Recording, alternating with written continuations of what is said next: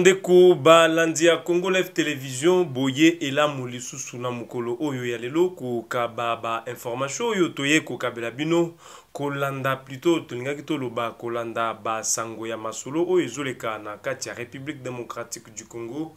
Ba situation eza ebele de l'autre cote est ya mboka boyebi ke agression ezali na ouest ya mboka ba dossier pe mosusu ezali tokende na ba coin nionso ya mboka ba dossier kili kili ezo ningisa mokili ezo ningisa mboka des instabilisations sur l'etendue de ya ya ya republique democratique du Congo je voulais dire Alors mboka na biso lelo eza na makambo ebele ya lelo toye lisusu kokabela bino basango ya makambo oyo ezoleka na kati ya mboka na biso bozoyoka boza libanda ya mboka bozoyoka boza na kati ya mboka tokosala nini po epe mboka na biso lobi mpe lobi kuna ebunga e, e, e, ezala yango très bien mboka na biso ebonga Voulais-je dire alors mboka na biso pe ezala na biso bien tozala kaka ya kotala mboka euh, ya baninga tolula yango tolinga yango ndenge esalemaka mokolo tozosala bavoyage na biso me biso propre bacongolais nini mpe lelo tokosala pour ke mboka na biso ebonga yango mpo na mokolo ya lelo toye na basango ya masolo kili kili donc lelo toko developper sur plusieurs sujets ya makambo oyo tokolobela lelo mais avant avant kolobela ba, ba, ba, ba mituna oyo ebele bato bazo mituna ya makambo oyo ezoleka na kati ya mboka tanto bozoyoka bamoko balie mbongo ya leta tanto boyoki bamoko bazo miorganize mpo na kosala biloko ya mabe bamoko baza na kati ya mboka me bazosunga baye oyo bazobundisa mboka baza banani bapropos ya bamosusu bazoloba likolo ya mboka makambo ezosalema na kati ya mboka na biso bango tokoconsidere bango ndenge nini mais avant kolobela lelo ndenge toza na este ya mboka lelo tokozala mpe na honneur ya kolobela makambo oyo ezoleka de l'autre côté avant tolobela makambo oyo ezoleka na kati ya mboka na biso en generalité kolobela makambo ya bitumba na place tozali depuis ntongo ya lelo bitumba eza nango te bitumba eza vraiment te baye oyo baza determine ko reconquerir baplace oyo banguna bazalaki basi bazwi ba frdc donc lelo toyebi te mpo na nini bazosala bitumba na mokolo oyo ya lelo te mais ya koyeba eke Jusqu'à présent, bazo monisa détermination na bango sur les lignes de front et dans ba différents axes oyo ezoyo kama ke bazo bunda na bakati ya ba territoire ezala na kati ya territoire ya Masisi to ezala na kati ya territoire ya Ruchuru yokami partout et que ba FRDC ma Pingama ekolo determination na bango ezali ya ko libere ba espace oyo place munguna azali. Pas plus tard que lobi boyokaki sur la toile que makambo etamboli koyokana eke bien que lelo munguna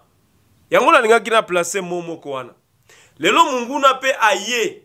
azaka na ma, makanisi wana ya kopesa eh, oyo babengaka na lopoto sango ya lokuta etamboli baye oyo baza na kati ya mboka bayebisi biso keno mapinga na biso erekipere baespace moko place minguna bazalaki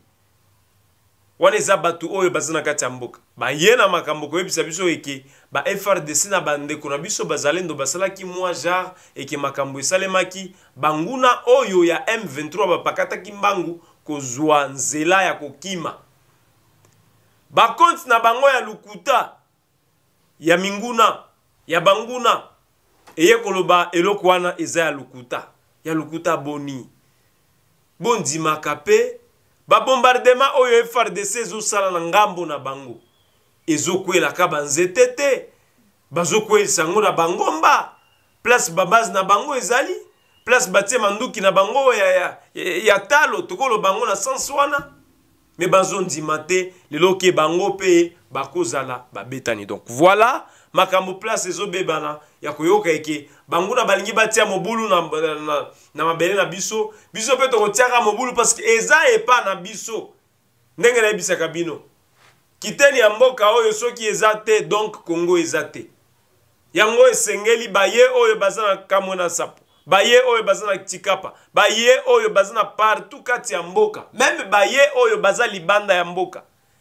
toyeba eke lelo Esengeli tobunda biso nyonso mpo na mboka na biso.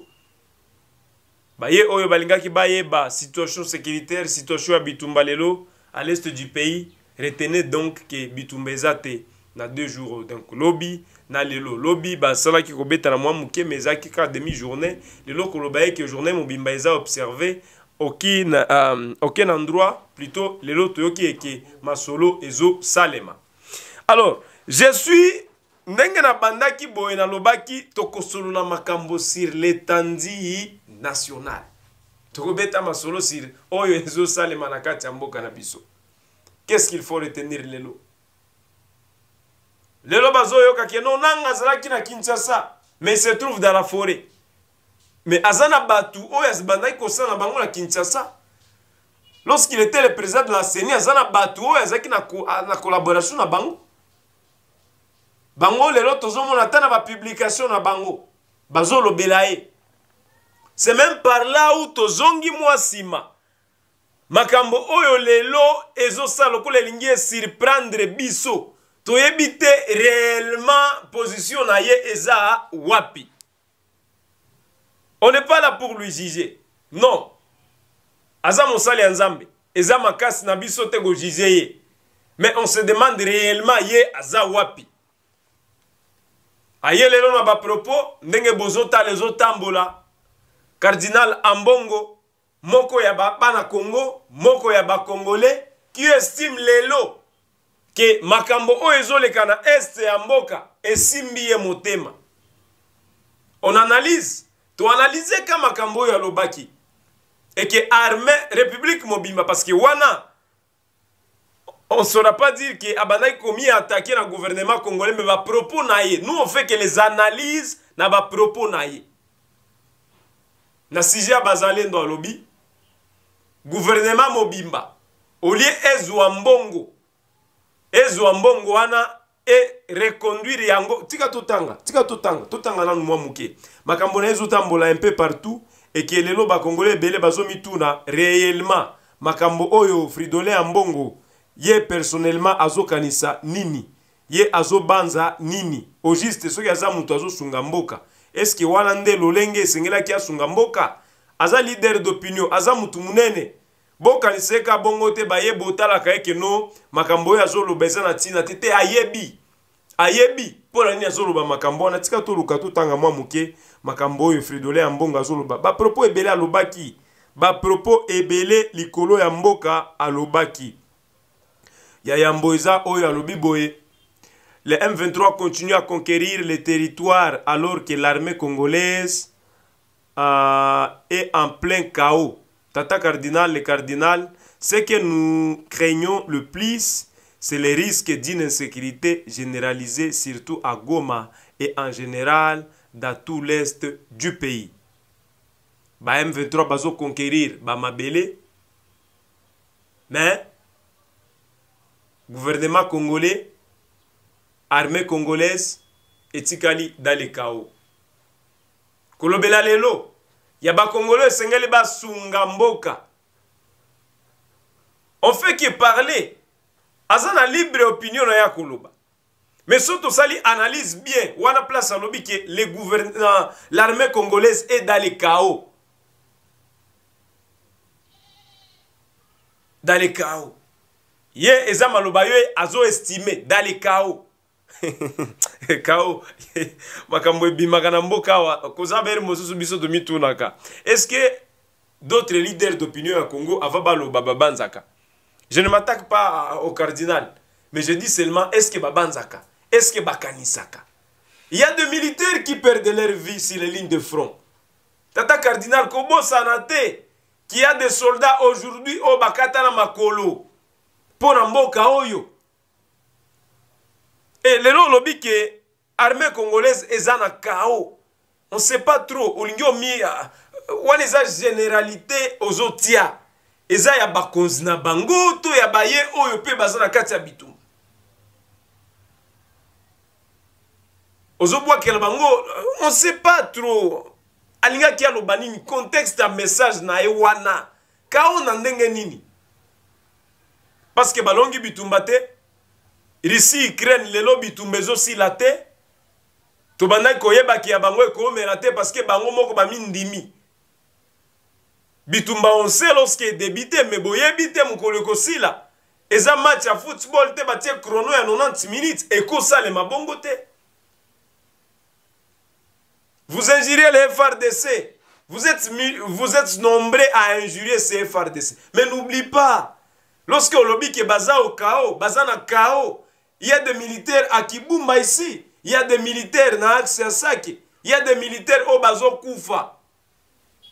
ozoloba baza na kao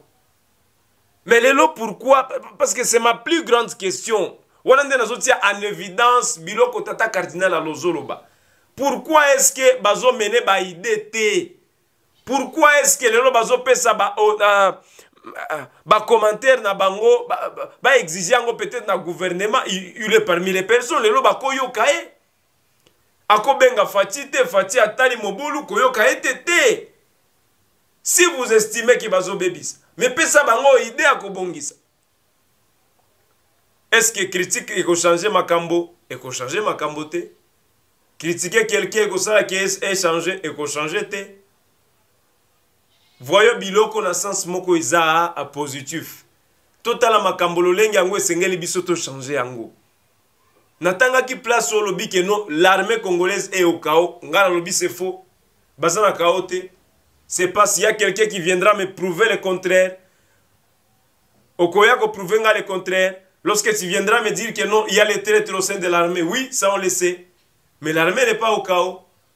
okoya koyebisa nga lelo eke ba frdc wana na kati na bango baza batraite wana toyebi mais n'oublie pas qu'il y a des soldats innocents qui ne savent rien à propos ya traitrise qui ne savent rien à propos ya détournement ya mbongo qui ne savent rien absolument c'est-à-dire s'il voudra bien s'attaquer il faut s'attaquer à ces officiers baye oyo bayibaka parce que eza ba officier nyonso te nde bayibaka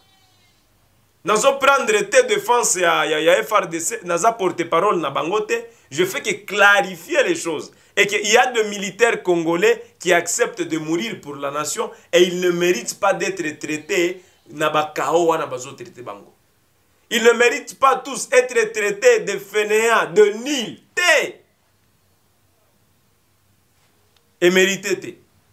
bapropos eza ebele tata cardinal fridole ya mbongo alobaki au sujet ya makambo ezoleka na kati ya mboka sikoyo na sujet ya wazalendo beaucoup de gens se demandent pour d'abord définir bato wana baza banani kisole wazalendo baza bato nani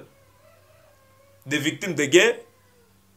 oyo baza frustre kotala makambo ezosalama na kati ya mboka et aujourd'hui ces enfants décident kozwa affaire wana na maboko lokola ya bango voilà donc le wazalendo baye oyo baza na ligne de front pas le faux wazalendo fabriqué par kagame ici baye wana te baye oyo bandima kowa mpo na ekolo bana mboka oyo balobi eke likambo ya bitumba ezaka ya frdc te eza ya biso manso tata cardinal alobi nini na sujet ya bato wana cardinal ambongo à l'agence euh, fides euh, au lieu de renforcer l'armée régulière avec des soldats sélectionnés et bien formés le gouvernement a fait le choix à notre avis dangereux d'amener ce groupe qui finissent par devenir un danger pour la population en agressant les citoyens, en commettant des vols et des meurtres et en se lançant dans le commerce illégal de minerais extraits de mines artisanales et de la région. Banamboka. effort na bango Effort na bango babwaki yango na mai. Eza nga te nde nalobi, c'est pas moi qui le dit. Eza tata cardinal nde moto alobi. Est-ce qu'il a raison? Est-ce qu'il a tort? Fallait pas que bana wana bazala. Est-ce que bana wana bazosunga te na kati ya makambo yango? il a été un jour au ligne de feu pour observer ce que ses enfants wazalendo bana na biso bazosala des fois to arrêter biloko moko il y a des choses qui esengeli to tika c'est pas mauvais monter à puissance bazoloba ya armée mais vous ne vous demandez pas la question est-ce que monter à puissance wana ezali bana oyo bozoloba keno bazoforme bagroupe ya bavoler bagroupe ya bato oyo bazosala ba commerce ya ba minerais bato wana bazomi approprier balibulu oyo ya mabele oyo ebombi baeloko mais vous ignorez que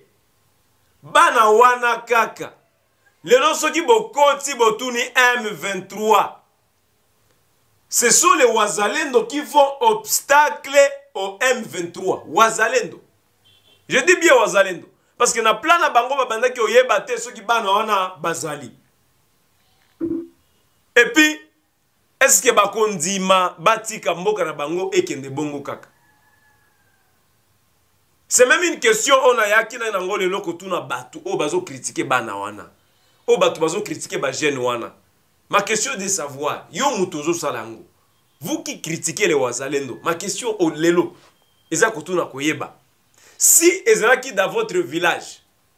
il y a l'agression comme ça oyo ekoti est ce que ozalaki capable kotenir kozwa banduki mpo odefendre mboka baye oyo bayekola monoko ya mboka bayoki deja est ce que soki ezalaki yo na niveau na yo lelo totiaka ngo nanu pene même cardinal jeune comme tant d'autres jeunes akoti na kati ya village bakoti ye aza wana epuis esengeli bana mboka badefendre mboka wana mpo ekende te eske ye moko azalaki nanu capable ya kodefendre ye mboka wana encouragement esengeli topesa bango eza te kobwakela bango masolo ya bongo okozala ata ozodefendre ozomonisa boni biloko ezokende mabe me soki oaccede na nzela mabe soki olobi yango na sens oyo ezonyoloka te on va vous traiter de collaborateur avec nanga bakotraite yo awa de collaborateur ya m23 toyoki lelo mais pourquoi soki bazoloba bato bazoyiba s'il faudra pas seulement s'attaquer au gouvernement congolais mais kala mingi te nous avons observé si le général mokonzi ya mboka nani ya ituri azomettre en garde basango oyo bazosala baexploitation ya minere baye oyo bazopropose kosala dile ya koyiba baminere est ce que bango kaka baza mpe ya gouvernement congolais te mais baza na structure ya nani ya tata cardinal baza na kati donc mboka oyo mpo ebonga esengeli mutu na mutu na niveau na ye batia biloko na chemin ya biete combien de fois on voit les gens ici bato ya structure na ye tozotala yango na bavol na baviole na badetournement ya baeloko tozotala yango partout s'il faudrait ajuge mpe gouvernance na ye donc ye mpe azo echoue c'est pour dire seulement oyo tolingaki naloba na kati ya likambo wana eke c'est pas seulement l'affaire ya bacongolais oyo bazo gouverne ye lokola leader d'opinion asoumettre baide na ye Bamoko bakei mosika koloba eke frustration na ye, frustration na ye ebimi place oyo ya ba scolarite ya bana, gratuite d'enseignement. Ebendi makambo. Donc voilà ba propos ya tata cardinal, ye oyo azo estimer lelo que gouvernement en place est echoue, on ne sait pas, c'est pas vrai, mais tozo tala makambo ezoleka na kati ya mboka. na biso poursuite ya makambo avant ke nalobela pendant qu'on sera en train de finir nalobela makambo oyo ya mama judith suminwa azosala baconsulta bazoconsulte baparti na baparti mpo bamona boni gouvernement ekobima e, e, avant tolobela mwa eloko wana totia mwa dose mwa point Na kati ya likambo wana, tobeta masolo likolo ya arrivee ya mokonzi ya defense Jean-Pierre Bemba Ngobo na kati ya uh, province ya Ituri. Akomaki lobi, boyebi mpe province wana eza sous etat de siège, mpe mokonzi general aza wana azokamba makambo, mpe na province wana bango mpe insecurite ezo continuer. ba groupe rebelle ya ba codeco ba groupe rebelle donc eza ebele makambo ebele ezosalama na mboka loko mokonzi ya defense akomaki wana lobi jean pierre bemba akomaki mpo amona bapoursuite ya badossier oyo ezosalema na kati ya province mpe wana arasire ke ma opération ezokende très bien de l'autre côté kozongela makambo oyo ezosalama na kati ya mboka on saura vraiment pas finir tokozonga na eloko wana tokozonga na eloko wana Maman Souminua lelo makambo eza liboso na yo c'est maintenant ou jamais. Dans l'histoire de la RDC, kombo na yo ekozongaka jusqu'à ce que Jésus reviendra. La première femme